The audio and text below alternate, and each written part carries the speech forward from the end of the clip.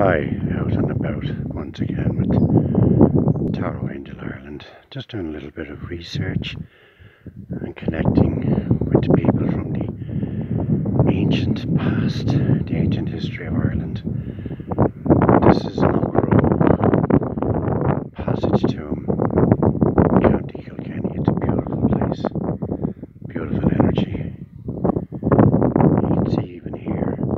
Just like in Newgrange and many other thousands of other sites, the use of quartz crystal.